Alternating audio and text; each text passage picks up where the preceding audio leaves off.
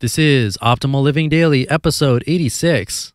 Are you future focused or present focused? The Marshmallow Experiment by Derek Sivers of Sivers.org. Get ready to maximize your potential with Optimal Living Daily, the podcast that brings you the best in personal development and productivity every day of the week. Your optimal life awaits. Now, here's your host, Justin.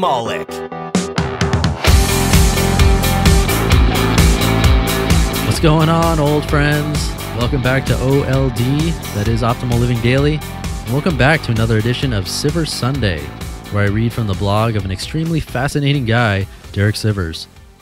I relate to his life story on multiple levels, and you can learn more about how creepy that is by listening to my first ever reading of his back in episode 44. That's a special episode for me for lots of reasons, so do check that out if you haven't already.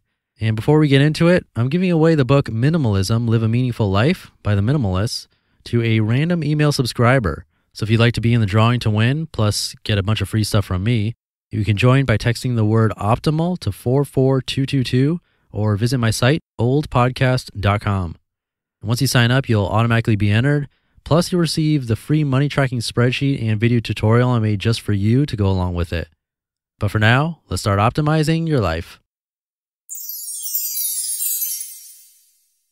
Are you future focused or present focused? The Marshmallow Experiment by Derek Sivers of Sivers.org. What I'm about to tell you is one of the most interesting things I've read or heard in the last few months, and I know you're going to love it, so please read to the end. The Marshmallow Experiment.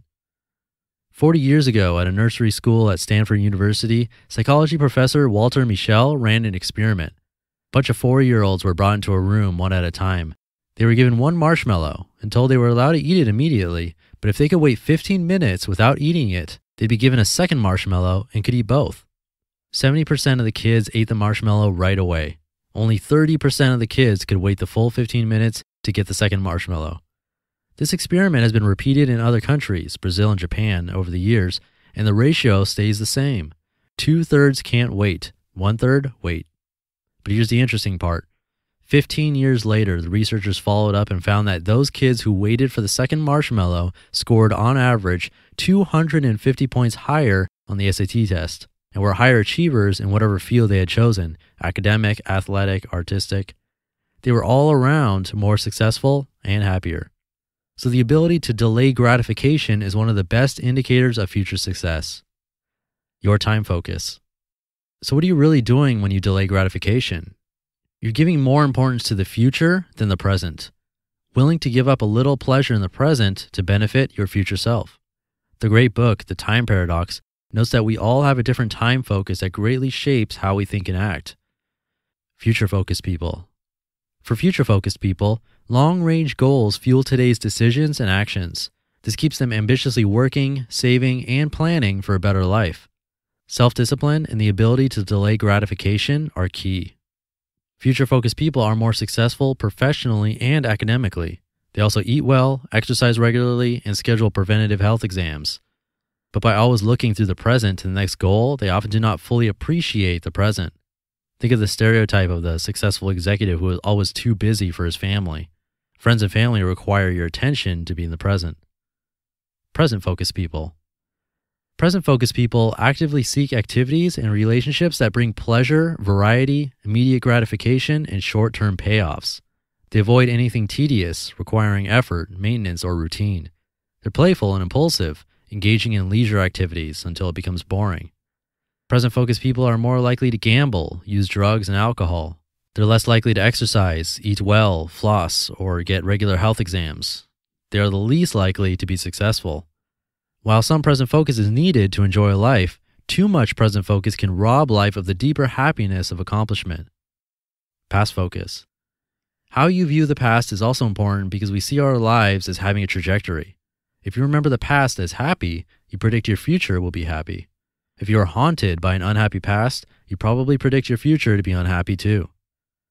What causes or changes your focus? Though the experiment with four year olds shows that we have a built in tendency, we can intentionally change our focus. Ask a future focused person to name every background sound they can hear or where their body is touching their chair. Their focus will change to the present. Ask a present focused person to describe their ultimate career, then brainstorm step by step ways to achieve those goals. Their focus will change to the future. Circumstances change focus. You need safety and stability in the present to start thinking about the future. Cavemen needed a full present focus at all times to survive in the wild and find food each day. It was only after the development of agriculture that people could spend more time thinking about the future.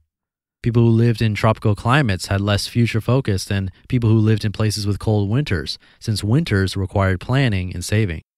Political and economic instability also caused people to focus more on present survival than long term investing of time or money. Balance is best. Please don't think this means we should all be extremely future focused. The happiest and most effective people are balanced, equally high in future focus and present focus, and viewing the past as positive. When you have work to finish, be future focused. When your work is done and it's time to relax, be present focused. During family holidays, be past focused to enjoy family customs, which leads to the most colorful example of this need for balance Ghana football or soccer team. The Ghana national football team always played beautifully and creatively, but were at the bottom of the league because they often lost for not adhering to the disciplined rules of the game. In the context of this story, let's say they were very present focused. In 2004, they brought in a tough new coach from Serbia, Radomir Dujkovic. He relentlessly focused on discipline, toughness, goal scoring, and punctuality. He set high expectations for future success, telling them they could get into the semifinals for the World Cup if they worked hard.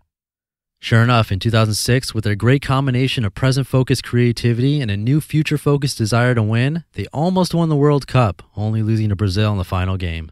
They did win the FIFA Most Improved Team of the Year award.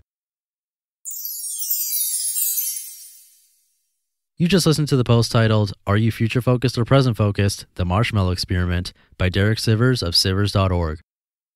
Another Sivers Sunday down. And crazy, I'm only two weeks away from my 100th episode. That's just nuts. It feels like yesterday that I was so happy to reach my 50th episode. And I do have some special stuff happening for my 100th episode, but you're going to have to wait a little longer before I announce anything. And speaking of announcing things, if you'd like to hear my announcements or show your support for the show and get free gifts and be entered to win free books and a lot more, you can join the old family of life optimizers for free by texting the word optimal to the number 44222. Or you can join through my site, oldpodcast.com. It's really a great way to show your support for the podcast without actually contributing any money, which, by the way, you can do at oldpodcast.com if you want to help pay for the bills and keep this thing going. But no pressure. Being part of my mailing list will still make me really happy. So please come visit me at oldpodcast.com to join, or again, text optimal to 44222. And that's 86 episodes in the bank. Thank you for joining me, and I'll see you again tomorrow where your optimal life awaits. You've been listening to Optimal Living Daily. Be sure to hit the subscribe button to stay up to date on each new episode and head to oldpodcast.com. That's O L D podcast.com for a free gift as well as more actionable tips and resources to help you maximize your potential. Thanks for joining us, and remember, your optimal life awaits.